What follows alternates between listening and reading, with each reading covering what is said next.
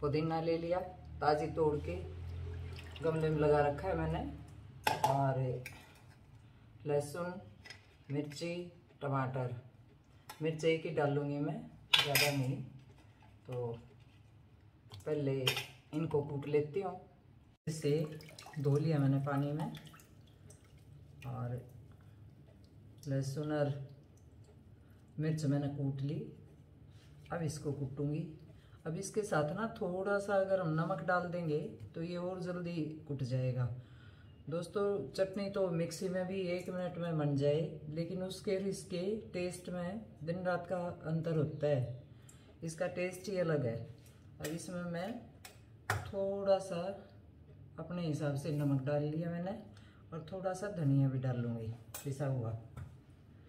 और इसको फिर से कूट लेते बारीक पिस गया बिल्कुल। अब इसको, प्याज को और टमाटर को ऐसे कूटेंगे तो इतना बारीक नहीं कूटेगा, ये कहीं कहीं रह जाएगा। तो इसलिए मैं इसमें ऐसे कसूँगी। छोटे वाला है ये कद्दूकस। ये मैंने इसी पर्पज़ के लिए ले रखा है। अदरक वगैरह चाय में डालनी हो तो इससे कस लो। और ये देखो, ऐसे हो जाएगा बिल्कुल बारीक। कोई कोई टुकड़ा है, ये बीच में इसको मिक्स करूँगी तो अच्छे से हो जाएगा। ऐसे ये टमाटर कर देंगे छिलका छिलका रह जाएगा?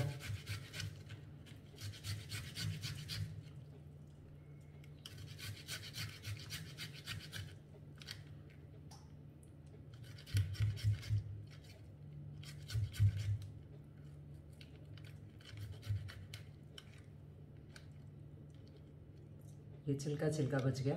ये सारे ऐसे छिलके उतार लिए और गुद्दा गुद्दा इसमें रह गया।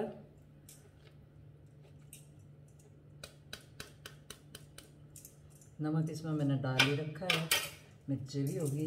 अब इसको ऐसे थोड़ा सा चला लेंगे। खूब अच्छे से मिक्स कर लिए और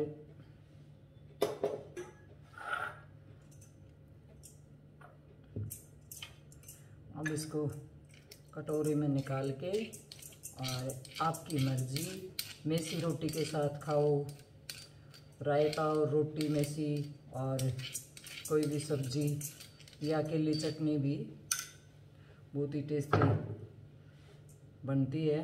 आज के लिए इतना ही। मिलते हो फिर अगले किसी और नई चीज़ के साथ।